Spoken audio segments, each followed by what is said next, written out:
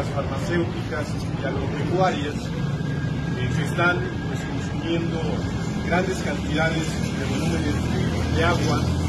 de esa zona. Parte de la problemática eh, y los focos se encienden cuando se, genera un socavón de grandes dimensiones que sigue creciendo, pero